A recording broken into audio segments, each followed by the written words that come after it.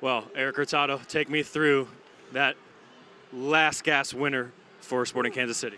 Shit, uh, you know, me and Johnny have been trying to link up, me and Daniel as well, uh, the whole game. And they knew to slip me in. Johnny slipped me in a perfect ball, burned the last defender, burned the goalkeeper, goalkeeper and put it in. How'd you find the energy so late on after you guys have been pressing pretty much the entire game? You know, it's just the game fitness. You know, I've been getting uh, 90 minutes last game, 90 minutes the game before, so I, I was getting my second win towards the second half.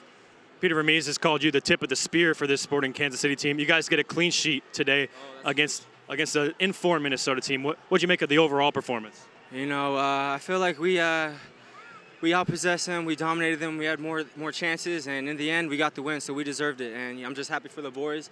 Two back-to-back wins at home. Uh, we move forward next week, and we try to get that third.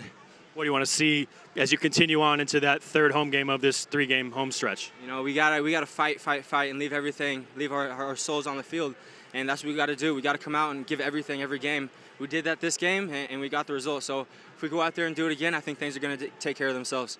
Thanks, Erik, and congrats on the winner. Yep.